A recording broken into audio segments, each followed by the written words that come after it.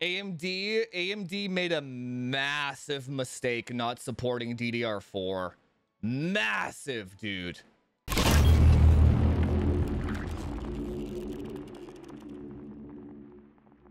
Raptor Lake is exciting because 6 gigahertz. Please go watch my clock speed scaling video. Does not scale in gaming.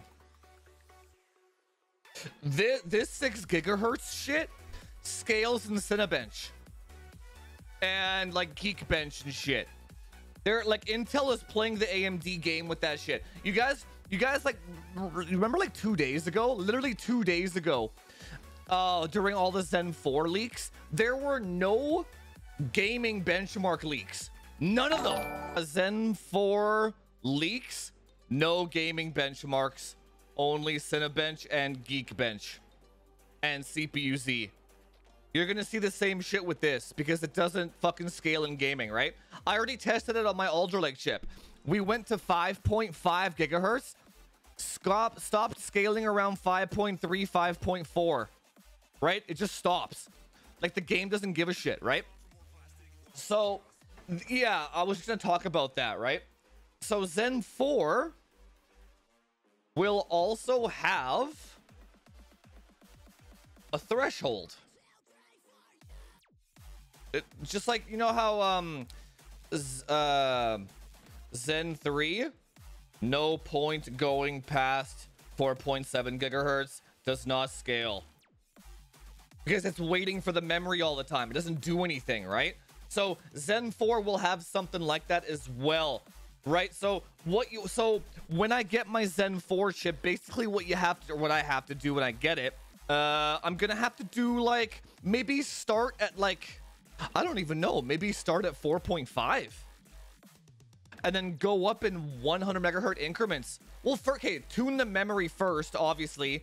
Get the memory down as far as possible because that way then you'll know when the clock speed will stop scaling, right? So if you have like Zen 4 with 5800 XMP or something like that, it might stop scaling at 4.5. And then in which case you might as well just undervolt the damn thing, right? So that's how I'm going to do it tune the memory first, get it as low latency as possible, then go like 4.7, 4.8, 4.9.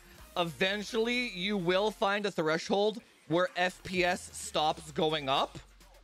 Then you find the lowest voltage possible for that frequency, right? We we did the exact same process with Zen 3 already, right? It's nothing nothing ever changes in that regard. So the, these fucking large tech tubers showing like six gigahertz on Zen 4 and shit, it's a complete waste of time. You're just throwing power. You're throwing a bunch of power out of the window with no FPS gain, right? Uh, I'm thinking 5.2 as well. 5.15, maybe even just 5 gigahertz, it'll stop scaling, right? We don't know yet. I delidded uh 3950X back in the day when I had no subscribers. I delidded one and I dropped like what the hell? I don't even remember how many Celsius I dropped, but it didn't improve my performance whatsoever. 0% performance improvement. So why delid if clock speed doesn't scale? Why risk it? Why fuck your warranty up? So if if I end up finding that like five gigahertz is the sweet spot, and you can achieve this with a good undervolt, your CPU is at like 70 Celsius, you lock all the cores there and don't worry about it, then no, I'm not gonna delid. What? Why? What's the goal? Right? What is the goal? Prevails all questions. Or weird nerdy shit. You know what I'm saying? Now, if it scales to like 5.5 for some crazy ass reason, then yeah, then there is a goal to delidding, right? There was a goal to delidding Alder Lake because it actually got you 100 megahertz into that 5.2, 5.3 range, right? Even then, you could get away without doing it in just a lap, right? Yeah, the same thing happened with every, every it didn't happen with Zen Plus, but yeah, the same thing happened with every generation of Zen, man. Like these these AMD essentially launches them too early because they're always trying to beat Intel at something, so then they always release their platform too early, and it's just so fucking broken, right? That's why there's not really any point in buying anything day one either. Look at what happened with DDR5. If you bought DDR5 day one, you got fucked. It was better to wait, right? You have to wait for people, you have to wait for the dust to settle, always. See, the value, this is just, the, value is just so bad on this. I don't even know how I would do in my review, to be honest. It's like, it's like, like, okay, for example, for example, what if the 7950X, uh, it won't, but let's just say, for example, wins by 5%. Let's just say, uh, right? Because you, you can argue that A die and uh, Unify X on DDR5 wins in five wins by five percent in some titles over B die, right? And then B die is like the baseline 100%, right?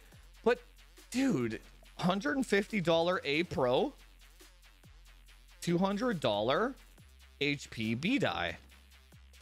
So then you go to the this is 12900K, right? Now you go 12900K, $550 Unify X.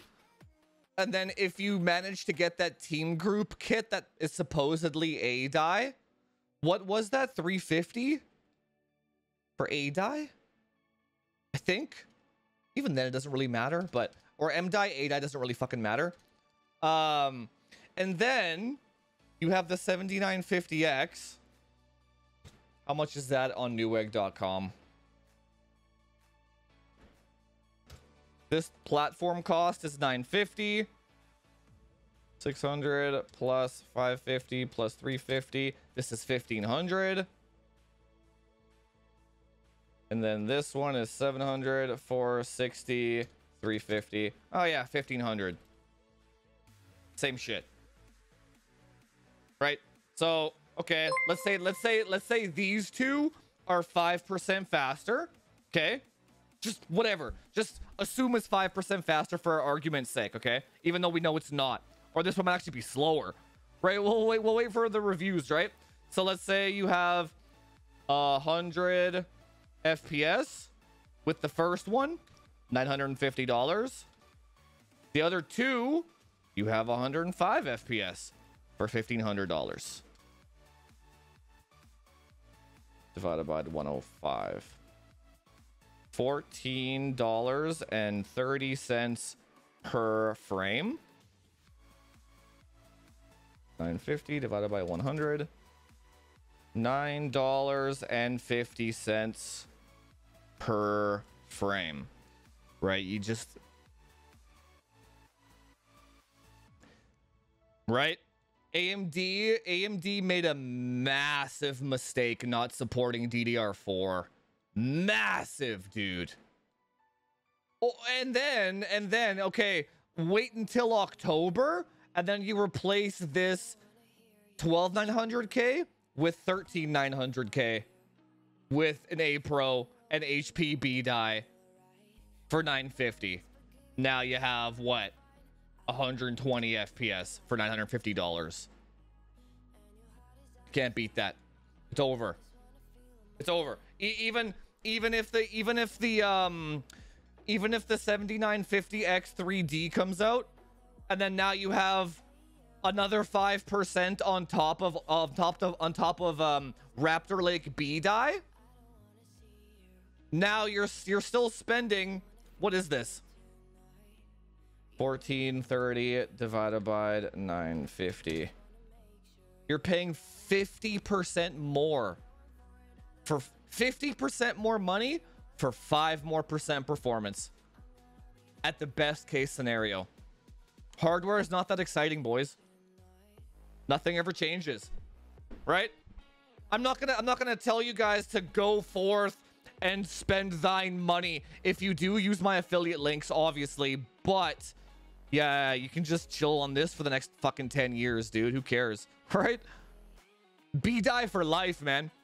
He, like like like someone who was saying earlier on in the stream, what if you already have B die? Oh, then you take $200 away from the cost of the platform. Now you're at $750. Let's say you're coming from a 9900K or a 10900K or like a, a 3700X, 5800X, something like that, and you already have some B die, bro, you're looking at a $750 platform upgrade to a 13900K and an A Pro motherboard. You take your B die, you throw that bitch in there. That is some good value, man. That's some good value. You know what I'm saying? That's the that's that's so now you're looking at half the price of Zen 4 and faster. DOA, man. It's DOA. If the 39K can hit 4600, where would DDR5 have to be to beat it? I don't think it matters, man. You're, you're it's not the point. There's no goal there. Like like the difference like already like the the the difference between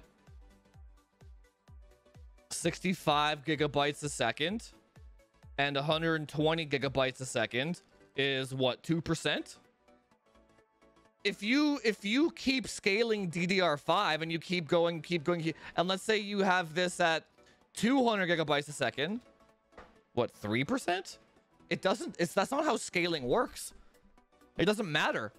You can have DDR5 20,000. The game won't use it.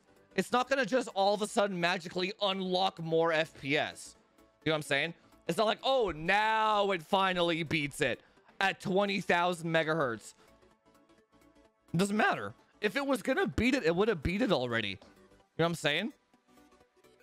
If it was going to unlock some crazy ass FP. So check this out. Check this out. So uh, 6800 uh, M die to 7800 A die was 1%. It's a thousand fucking megahertz. It doesn't matter. The CPU doesn't care. It's not like, yeah, it's like, it's like, oh, now we have uh 8800 uh dick die. Oh, now it's 2%. Like, who cares? It doesn't matter. I don't know why people always like, when will it finally beat it? It's not. Because that's not how memory works. If it doesn't use it, it doesn't use it. You can push it. Just because you push the memory more doesn't mean the CPU or the game are going to use it. They don't care, right? You have to get this XOC mindset out of your head. What does the game want? What is the game's goal? I need to transfer 40 gigabytes of textures from memory. This is how a game engine works. Do you have 40 gigabytes bandwidth? If yes, transfer. If no, split up and wait for CPU next clock cycle. So if you have 500 gigabytes a second, that's why graphics cards don't scale either with that shit, right? So you have um, a 3090 Ti, right? Uh, it comes stock out of the box with like 21 gigabits per second memory, right? If you crank that shit to 24 gigabits per second, you get what, 2%? Doesn't fucking care. It doesn't care, right? I don't know. I don't know where this fascination with memory bandwidth and speed comes from. The game doesn't give a shit. You know what I'm saying? We're not XOC people here. I like I like large DDR5 speeds. I don't I don't really know what to do with my life. I don't really have a goal. I don't play games. I definitely don't play games. But just knowing I have it and that I can post it on Reddit for a thumbs up makes me feel good inside. Makes me feel good, Hoodoos.